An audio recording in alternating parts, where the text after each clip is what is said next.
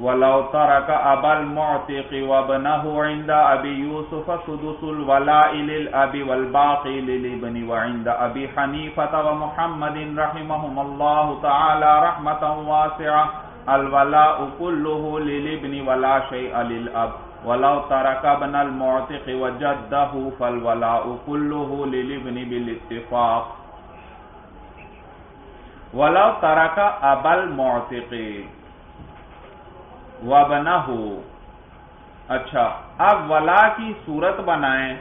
ولا، لیکن جو آزاد کرنے والا ہے، اس کا انتقال ہو چکا۔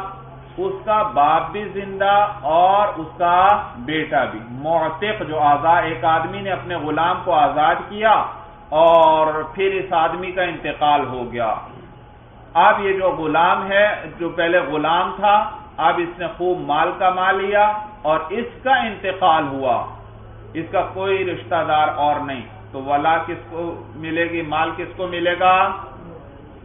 آزاد کرنے والے کو۔ اور وہ تو پہلے سے انتقال کر چکا۔ تو اب کس کی طرف جائیں گے؟ اس کے نصبی عصبات کی طرف۔ اور اس کے نصبی عصبات میں باپ بھی زندہ ہے اس کا اور اس کا بیٹا بھی زندہ ہے۔ تو کس کو دیں گے؟ جی؟ تو بھائی طرفین رحمہم اللہ فرماتے ہیں کہ ولا کا مستحق بیٹا ہے کیونکہ وہ پہلے درجے کا عصبہ ہے، پہلے درجے کا بھائی۔ تو جب پہلے درجے والا ہو تو وہ مستحق ہوگا، وہ سارا مال وہ لے جائے گا بھائی۔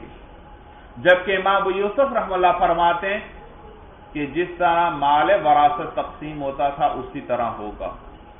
مال وراثت، بھائی۔ ایک شخص کا انتقال ہوا اور باپ اور بیٹا زندہ ہے کس طرح مال تقسیم کریں گے؟ شاباش، باپ آسبا نہیں بنے گا آسبا کون بنے گا؟ بیٹا۔ تو باپ ہے؟ تو باپ صرف زویل فروز میں سے ہے اور اس کا کتنا حصہ ہے؟ سدس ہے، چھٹا حصہ، باپ کو چھٹا حصہ دے دیں گے اور باقی پانچ حصے مال کے وہ کون لے جائے گا؟ بیٹا اس کا حقدار ہوگا آسبا ہونے کی بنا پر۔ تو یہاں پر بھی امام یوسف رحم اللہ فرماتے ہیں کہ باپ کو چھٹا حصہ ملے گا اور باقی پانچ حصے کس کو ملیں گے؟ بیٹے کو۔ چھ میں سے پانچ حصے پھر باقی بیٹے کو مل جائیں گے۔ جبکہ طرفین رحمہ اللہ کے نزدیک سارا مال کون لے جائے گا؟ بیٹا لے کر جائے گا بھائی، بیٹا۔ تو امام ابو یوسف رحمہ اللہ نے اثر ملک کو حقیقت ملک کے درجے میں اتار لیا۔ بھائی، یہ والا کیا چیز ہے؟ اثر ملک ہے۔ کیا ہے؟ بھائی، یہ اس کا مالک تھا نا، پہلے اس کو آزاد اس نے کیا۔ تو یہ اس ملکیت، یہ کا اثر ہے۔ کہ اس کو اس کا مال ملتا ہے بھائی تو یہ اثر ملک ہے۔ اور ایک ہے حقیقتاً ملک۔ ایک آدمی حقیقتاً جس چیز کا مالک ہو اور وہ مرے تو اس کے باپ کو چھٹا حصہ ملتا ہے اور بیٹے کو چھ میں سے پانچ حصے ملتے ہیں تو امام امام یوسف رحم اللہ نے اثر ملک کو کس کے درجے میں اتار لیا؟ حقیقت ملک کے درجے میں، جبکہ طرفین فرماتے ہیں کہ یہ حقیقت ملک نہیں ہے، حقیقتاً یہ اس کا مالک، یہ اس کے مالک مرنے والا اس کا مال کا مالک نہیں تھا، بلکہ یہ اس کے مالک ہونے کا اثر ہے۔ تو یہ اس کی طرح نہیں ہوگا جس طرح مال وراثت تقسیم ہوتا ہے، بلکہ یہ آسابات میں سے جس کا درجہ سب سے قریب جو قوی ہے، وہ اس سارے مال کو لے جائے گا بھائی۔ لہذا کون حقدار ہو جائے گا سارے مال کا؟ بیٹا حقدار ہوگا۔ صورت سمجھ میں آ گئی؟ ہاں اگر دادا اور بیٹا تھے، آزاد کرنے والے کا دادا اور بیٹا۔ تو اس صورت میں بل اتفاق طرفین کے نزدیک تو پہلے بھی حقدار کون تھا؟ بیٹا۔ اب بھی حقدار کون ہوگا؟ بیٹا۔ امام یوسف رحم اللہ بھی یہاں آ کر فرماتے کہ یہاں صرف بیٹا حقدار ہوگا، دادا کا حصہ نہیں ہوگا بھائی، دادا کا۔ اگرچہ ویسے مراثت میں دادا کو خود اس ملتا ہے۔ وجہ اس کی وہ یہ ذکر کرتے ہیں کہ کیونکہ باپ اور بیٹا دونوں کا تعلق بغیر واسطے کے تھا، لیکن اب دادا جو آیا اس کا تعلق کس کے ذریعے ہے؟ واسطے سے ہے، لہذا اس وجہ سے مسئلہ مختلف ہوگا بھائی۔ ولا اتارا کا جی دیکھیے اب کتاب پر، ولا اتارا کا ابل معتق و بنا ہو اور اگر چھوڑا کسی شخص نے ابل معتے کی آزاد کرنے والے کے باپ کو و ہو اور آزاد کرنے والے کے بیٹے کو عند ابی یوسف رحمہ اللہ، امام یوسف رحم اللہ کے نزدیک سدس الولا ابی ولا کا چھٹا حصہ جو ہوگا وہ باپ کے لیے ہوگا، والباقی للابنی اور باقی اس کے بیٹے کے لیے ہوگا۔ وعند ابی حنیفت و محمد رحمہم اللہ تعالی اور طرفین رحمہم اللہ کے نزدیک۔ الولاء کلہ للابنی ولا ساری کی ساری کس کے لیے ہوگی؟ بیٹے کے لیے ہوگی۔ ولا شی علیل ابی اور باپ کے لیے کچھ نہیں ہوگا۔ کوئی چیز باپ کے لیے نہیں ہوگی۔ ولا تارا کا بنل معتق و جدہ اور اگر معتق کا انتقال ہوا اور اس نے چھوڑا، نہیں ولا تارا کا وہ آزاد شدہ غلام کا انتقال ہوا اور اس کا اور پیچھے کوئی بھی رشتہ دار نہیں موتق بھی نہیں ہے، صرف کس، کون کون ہیں؟ موتق کا بیٹا اور دادا۔ ولا تارا کا بنل موتق و اور اگر چھوڑا اس نے آزاد کرنے والے کے بیٹے کو وجدہ اور اس کے دادا کو فل ولا اکل لیلی بنی بل اتفاق تو پھر ولا جو ہے وہ ساری کی ساری بیٹے کے لیے ہوگی بال اتفاق یعنی اس میں پھر تینوں ائمہ ہمارے ان کا اتفاق ہے وہی وَمَن مَلَكَ ذَا رَحْمٍ مَحْرَمٍ مِّنْهُ عَتَقَ عَلَيْهِ اچھا بھائی، ایک من ملک ذا رحم رحم بھی اس کو پڑھ سکتے ہیں خاص ساکین، اور رحیم پہ پڑھنا صحیح ہے خا کے نیچے کسرا پڑھیں بھائی۔ من مالا کا یہ حدیث ہے مولانا، من مالا کا دا رحیم محرمین جو شخص مالک ہوا۔ زا رحیم محرمین ایسے قریبی رشتہ دار کا جو محرم بھی ہو اس کا۔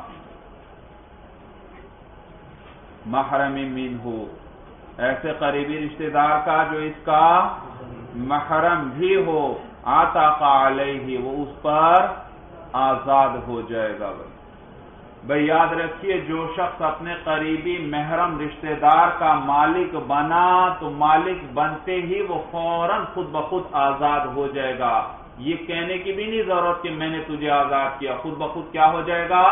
آزاد۔ لیکن دو چیزیں ذکر کی گئی حدیث میں۔ رحم بھی ہو، قریبی رشتہ دار بھی ہو اور محرم بھی ہو اس کا۔ محرم کسے کہتے ہیں؟ جس کے ساتھ نکاح شریعت نے ہمیشہ کے لیے حرام قرار دیا ہو۔ اسے کیا کہتے ہیں؟ محرم کہتے ہیں، جیسے بہن ہے، اس کے ساتھ شریعت نے نکاح کو حرام قرار دیا۔ تو یہ کیا ہے؟ محرم ہے، ماں ہے، پھوپھی ہے وغیرہ بھائی۔ تو دو شرطیں ذکر ہوئی حدیث کے اندر بھائی۔ من ملکا رحم محرم من ہو ایسا قریبی رشتہ دار جو اس کا محرم بھی ہو۔ قریبی رشتہ دار ہونا بھی ضروری اور محرم ہونا بھی ضروری بھائی۔ ہر قریبی رشتہ دار تو محرم نہیں ہوتا۔ چچا کی بیٹی۔ اب وہ قریبی رشتہ دار تو ہے، لیکن محرم نہیں، اس کے ساتھ نکاح کرنا جائز ہے۔ اور بعض قریبی رشتہ دار تو نہیں ہوتے، لیکن محرم ہوتے ہیں۔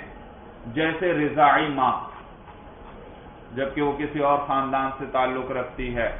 اب بچے نے اگر اس کا دودھ پیا اور اس مدت رضاعت کے اندر تو یہ اس کی رضائی ماں بن گئی اور ہمیشہ ہمیشہ کے لیے اس کے ساتھ نکاح کیا ہو گیا؟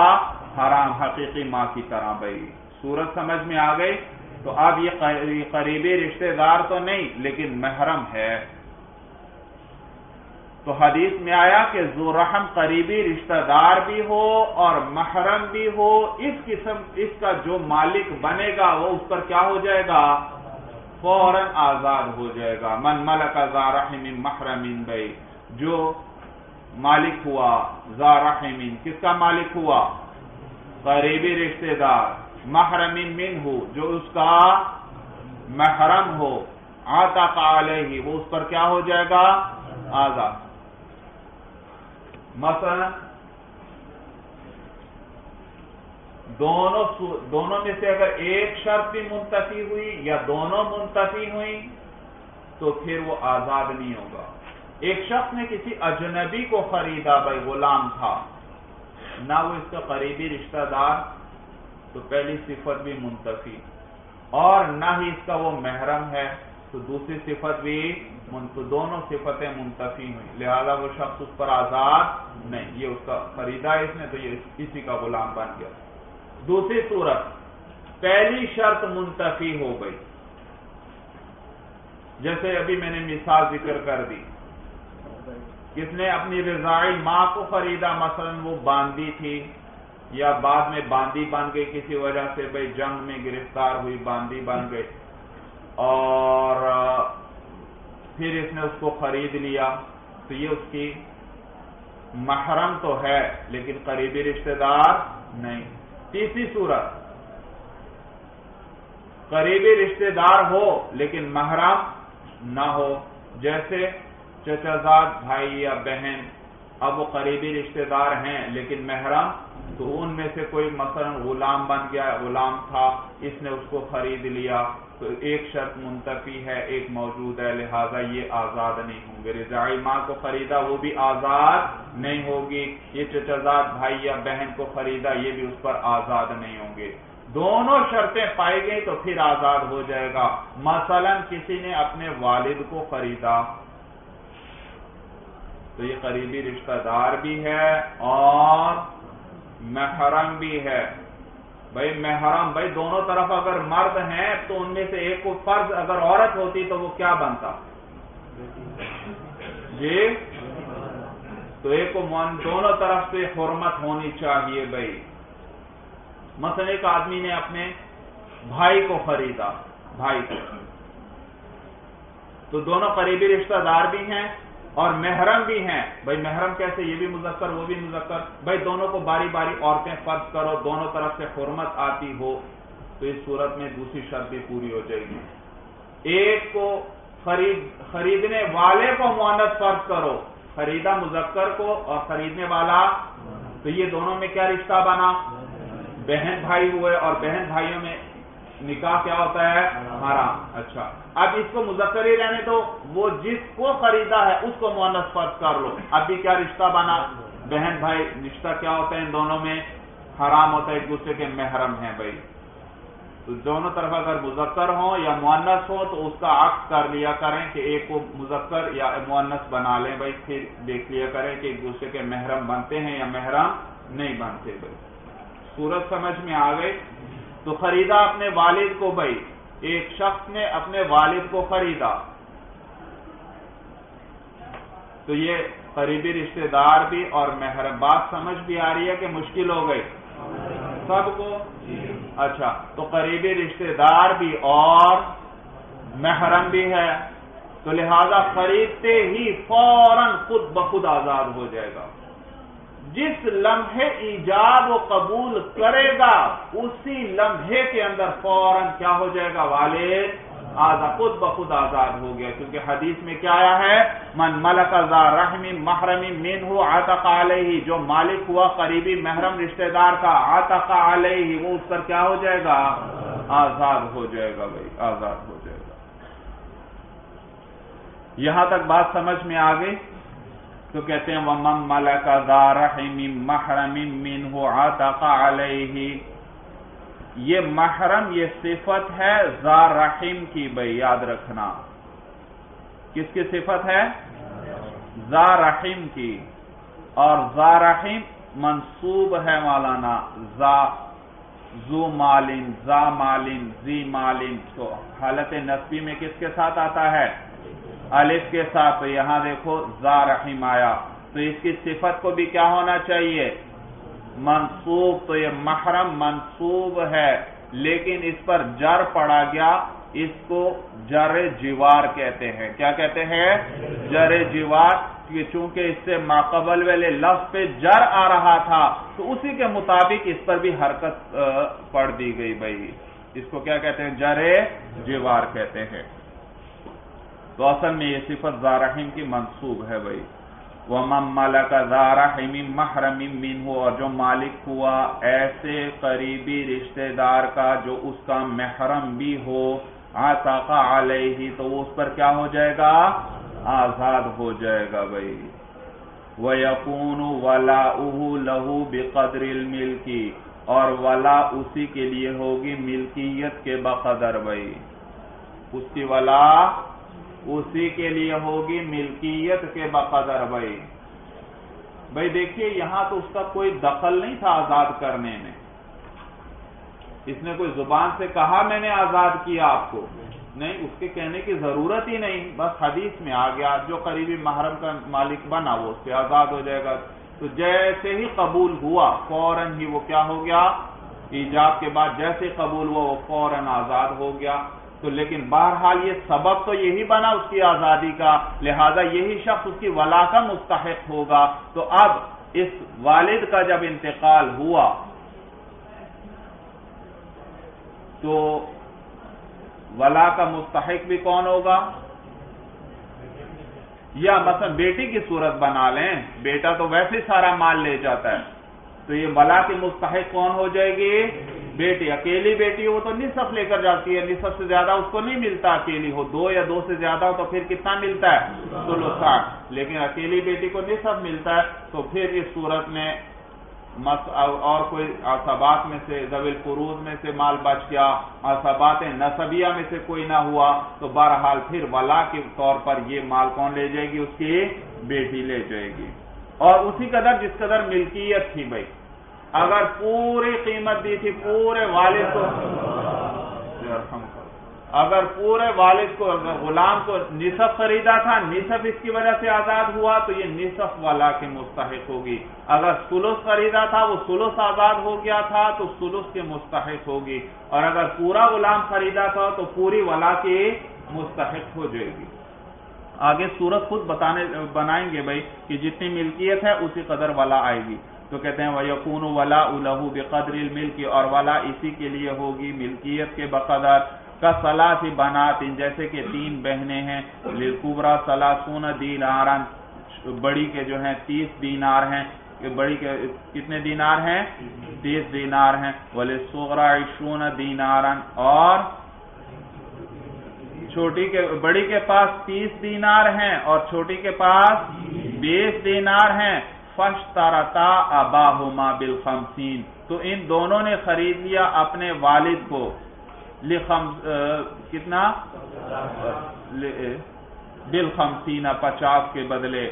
سما ماتل ابو پھر والد کا انتقال ہو گیا۔ وہ تارا کا شعی اور اس نے کوئی چیز یعنی کوئی مال وغیرہ چھوڑا۔ کتنی بہنیں ہیں؟ تین بہنیں ہیں بھائی۔ سلاس ہی بناتے خریدا دونے ہیں، بہنیں تین ہیں۔ اب بھائی، تین بہنیں چھوڑی ہیں، مال کی اور کوئی بھی نہیں ہے۔ مال کیسے تقسیم کریں گے؟ ایک بہن ہو تو اس کو کتنا ملتا ہے؟ اچھا یہ ہے تین تو دو سے یا دو سے زیادہ کتنا ملے گا؟ سلوسان۔ معلوم ہوا کل مال کے تین حصے کریں گے اور تین میں سے دو حصے ان تین بہنوں میں برابر برابر تقسیم کر دیں گے۔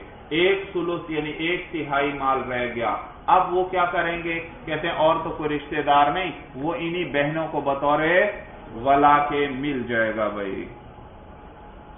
چلیے بھائی، بس اللہ عالم بحقیقت الکلام۔